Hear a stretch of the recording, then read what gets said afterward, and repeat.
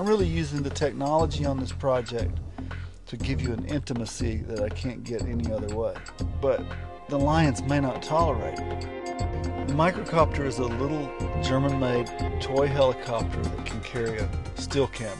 The reason I'm using this is because this is something we can carry around in our car and can launch it immediately. There's a lot of technical issues with doing this, so we have to start out very close to our subject. Nathan flies it, my assistant for many years, Nathan Williamson. My wife Reba, she's flight controller. She's looking at a computer because when this thing runs out of electricity, it falls out of the sky. And then I'm looking through goggles at the scene. The camera is acting as a video camera in a way.